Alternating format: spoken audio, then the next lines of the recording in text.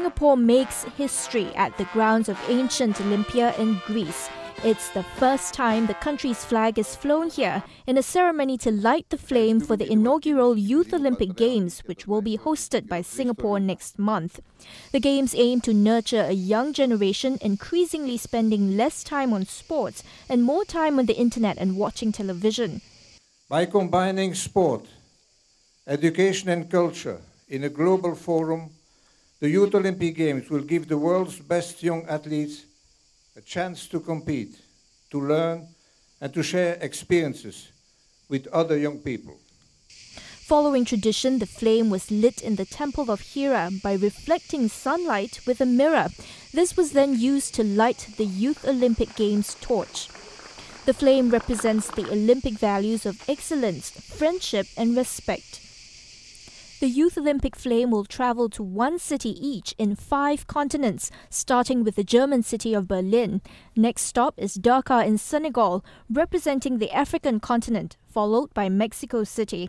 The flame then travels across the globe to Auckland in New Zealand, and its last stop on its international journey is the South Korean capital Seoul, before arriving in Singapore on 5th August.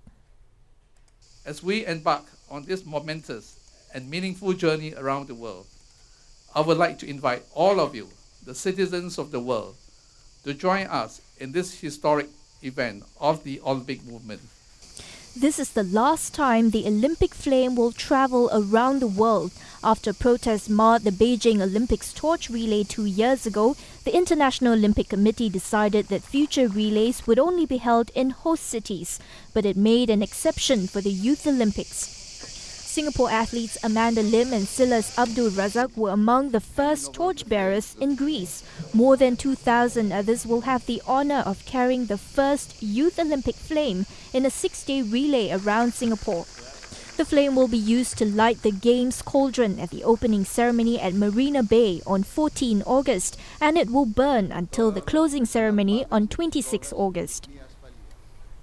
Well, swimmer Amanda and hockey player Silas talked to us on the phone about being Singapore's proud torchbearers. It was an emotional feeling. Uh, it's a great feeling that uh, being here at the Olympia and lighting, uh, running with the torch. Just I don't know what to feel. I mean, just happy and excited and just so many feelings. I think. uh, more Singaporeans or more people from all over the world, they will start to, uh, you know, focus on like they will know that this game is here because this is the first Youth Olympic game, so no one actually know what is it and how important is it and how fun to watch it is it. The celebration was also held right here in the YOG host city at Merchant Loop near Clarke Quay. 2010 students got together to form the shape of a massive torch. The event was organised by Samsung, a worldwide partner of the Olympics. Youth entertainers, including reigning Singapore idol Sezairi Sezali, also performed.